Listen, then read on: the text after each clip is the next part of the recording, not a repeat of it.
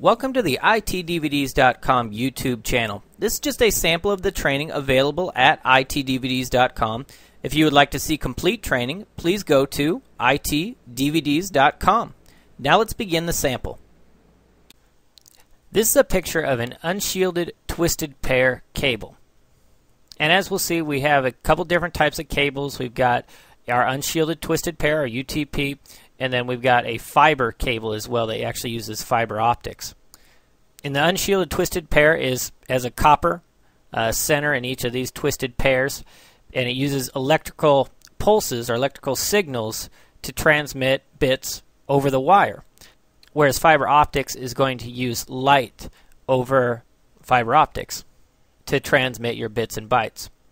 Now let's talk, talk about the ways we can actually wire one of these UTP cables to connect to different devices. The first one is going to be a straight through cable. And this is when both ends are the same. So pr- we've probably all seen a Ethernet cable, a UTP cable, which, ha- which has an RJ45 connector at the end. Well, this RJ45 connector, inside it are these twisted pairs, and they're separated and they're stuck into this RJ45 connector in a certain order. And when both ends are the same, so in this example, we can see a straight through cable. One end is the uh, white and orange, and then orange, and then white and green, and then blue, and then white and blue, and then green, and then white and brown, and then brown. And the other end is exactly the same.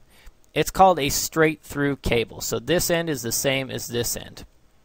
This is also referred to as a patch cable. And we're going to connect a computer to a hub with, with this straight through cable, a computer to a switch, or even a switch to a router. So patch cables are going to be your most common type of cable. And it's also important to note that technically the colors don't matter. There are different standards. Uh, I mean, this could be blue, this could be blue and white. The colors don't matter. The, what does matter is that both ends are the same. And you can see uh, the first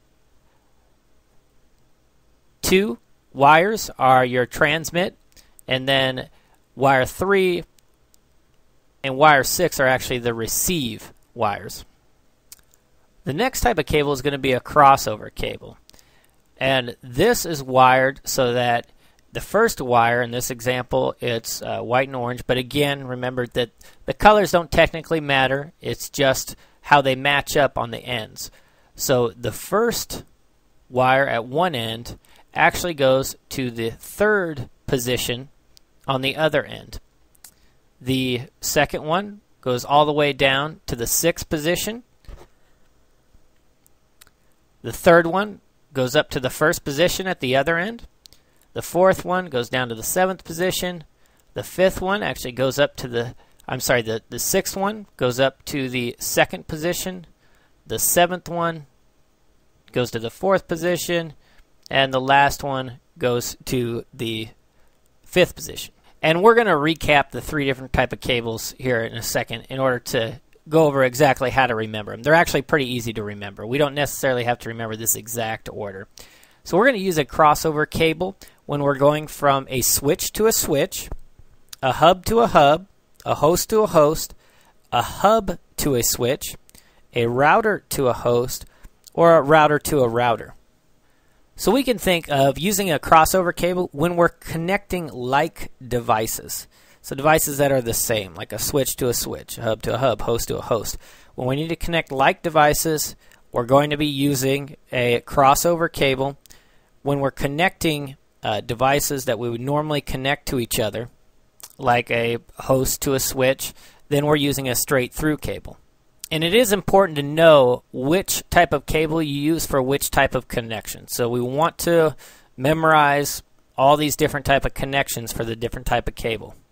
The next type of cable is going to be a rolled cable, and honestly, you're probably not going to actually make a rolled cable, uh, but we just need to know what it is, and we do need to know how it's wired. Uh, we probably will make crossover cables and regular patch cables. But this is what uh, a rolled cable actually looks like. And normally, when you get it, you buy a Cisco switch or router. Uh, we get this cable here. You can see it has a console port at the end and a normal RJ45 uh, connector at the other end. And this is what we use to console in to a Cisco router or switch. And the ends are complete opposites. So this one's very easy to remember.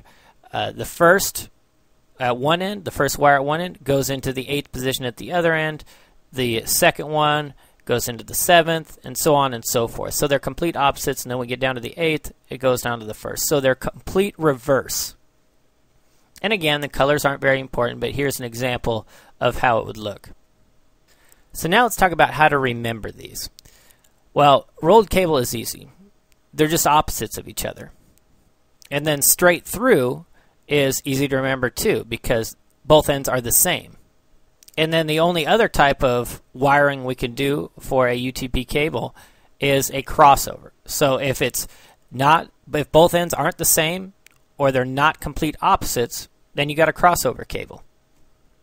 But again, it is important to remember when we're going to use each type of cable. Straight through is going to be your normal connections. Crossover is going to be when you're connecting like devices. And a rolled cable is to console in to a router or switch.